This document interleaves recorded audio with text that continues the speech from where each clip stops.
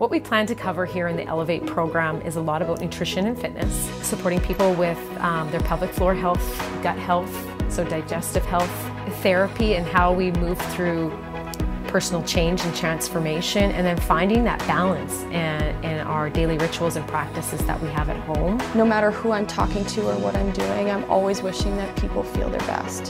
So I think really listening to patient stories and helping them to understand their journey plays that really important role in making sure that they really get where they want to go. Once you start feeling well and making choices for yourself, I think it's easier to set those goals and follow through with whatever they are, even if it's like something simple like five minutes of mindfulness. And for me, the you know, the reminder is when you actually fall out of that balance.